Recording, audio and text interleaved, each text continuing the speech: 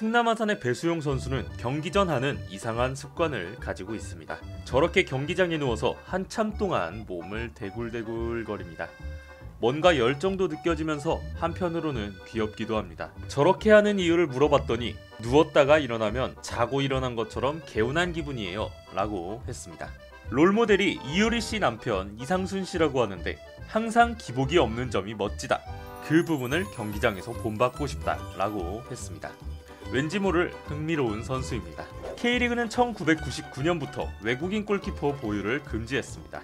그런데 2015년 서울이랜드에 외국인 골키퍼가 나타납니다. 2015년 8월 8일 수원FC 대 서울이랜드 후반 45분에 수원FC의 공격을 무리하게 막다가 서울이랜드의 김영관 골키퍼가 퇴장당합니다.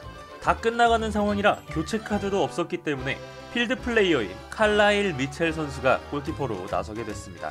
아쉽게 페널티킥을 선방하진 못했지만 K리그에서는 10년 넘게 못 봤던 손으로 골대를 지키는 외국 선수였습니다. 이번 시즌 득점왕이 유력한 울산 주니오 선수의 훈련 모습을 훔쳐봤습니다.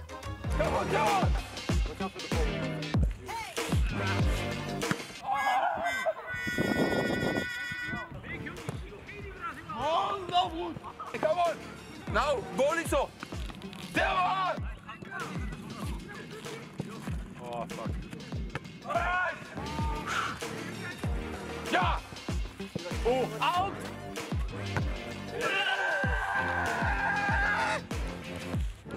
축구 선수를 동경하는 어린 축구 팬분들은 나도 축구를 해볼까 하는 마음을 가지기 마련입니다. 그럼 축구 선수들은 어떻게 축구를 하게 되었을까요? 전북의 한교원 선수는 짝사랑하는 여자를 축구부에게 뺏겨서 포항의 강현무 선수는 선생님이 아이스크림을 사준다 해서 따라갔다가 시합을 뛰기 시작함 상주의 배재우 선수는 태권도를 하고 있었는데 하기 싫어서 도망다니다가 상주의 고명석 선수는 동네에서만 축구하다가 축구부에 들어가면 바로 TV에 나오는 줄 알고 였다고 합니다. K리그의 실력과 조회수를 담당하는 제주 이동률 선수의 밸런스 게임입니다. 주급 5억 벤치, 주급 5천 주전. 벤치가 또 그게 말이 되나요?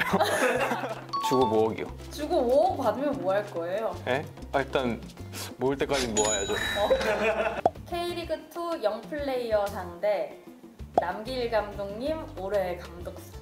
저는 영플레이어요. 아, 감독님 앞으로도 계속 하실 수 있으니까 아, 오. 제주 종신 해외 진출. 해외 진출이요. 네, 다녀오셔야죠. K리그에서 뛰어보지 않은 유럽파 한국 선수들. 이 선수들은 K리그 어느 팀에 관심이 있을까요? 이승우 선수는 어릴 때 수원에서 자라서 수원 삼성 경기를 많이 보러 다녔다고 합니다. 방송에서는 수원 경기장에서 뛰던 안정환 선수를 보며 수줍음을 감출 수 없는 장면도 볼 수 있었습니다. 인천에서 태어나고 자라서 축구도 인천에서 배운 이강인 선수는 인천 유나이티드 경기장에서 시축을 하기도 했습니다. 마침 슛돌이 시절 감독님인 유상철 감독님도 인천 유나이티드에 있었던지라 더욱 뜻깊은 시축이 되지 않았나 싶습니다. 손흥민 선수의 2013년 인터뷰 중이었습니다. 17세 대표에서 같이 뛰던 윤일록 선수가 만약 K리그에서 뛰게 되면 어떤 팀에서 뛸 것 같아 하고 질문한 적이 있었는데 중학교에서 혼자 하는 축구를 배우다가 고등학교에서 같이 하는 축구를 배우며 성장할 수 있었다 라고 하면서 FC 서울 뉴스팀이었던 시절을 떠올리며 FC 서울을 꼽았습니다. 말 끝나기 무섭게 K리그에 와 있는 손흥민 선수 와 역시 손흥민 선수는 빠르네요 가 아니라 강원의 신세계 선수였습니다. 전남 드래곤즈 선수들이 15세 이하 유소년들과 풋살 경기를 가졌습니다. 그냥 뛰면 당연히 유리하니까 두 명이서 뛰기도 하고 공룡을 타고 다니기도 하고 신발이 큰 선수도 있고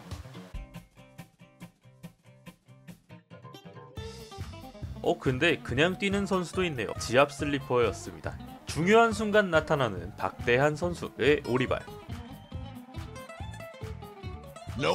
대구 팬분들이 이번에 대구 홈에 가시면 귀여운 빅토를 못 보실 수도 있습니다. 갑자기 대구를 떠났기 때문인데요. 이유에 대해 말하기 위해 11년 만에 말문을 튼 빅토의 얘기를 들어보겠습니다. 리카만큼 소중한 팬들의 웃음 그거 하나 생각하고 내 꿈을 라이언 마스코트 예술 종합학교에 전학 가기로 결정했습니다. 말종에 실력 있는 친구들이 정말 많지만 저는 반드시 수석으로 졸업해서 대구로 금연 환영하겠습니다. 말할 수 있다는 사실을 아무도 몰랐어요. 왜 갑자기 말을 하게 된 건가요? 그냥 말이 하고 싶어졌어요.